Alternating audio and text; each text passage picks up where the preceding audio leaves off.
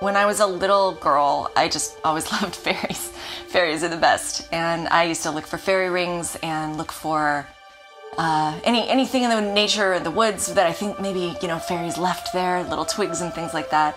I used to want to catch fireflies in jars. I love the fairy realm and I love the fairy world, so I wanted to bring that into my artwork as well.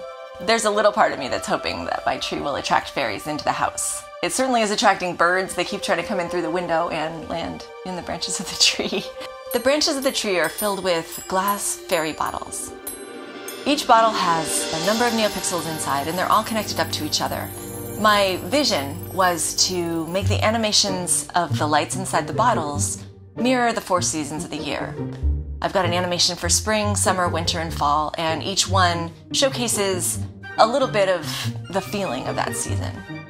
The springtime animation is full of color and energy and light, and the lights move back and forth, and rainbows shift and change, and it just makes me feel very awake and energized.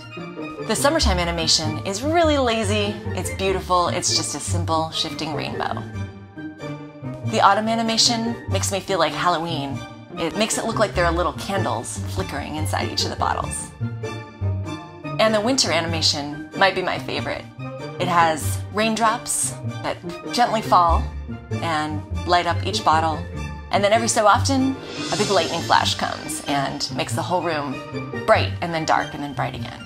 The bottles are powered by a Circuit Playground Express, which is running Microsoft MakeCode. It's a drag and drop editor that's really easy to use and really anybody can do it.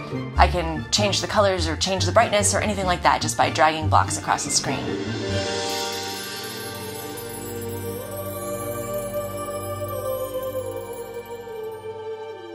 Check out the full tutorial over on the Adafruit Learning System.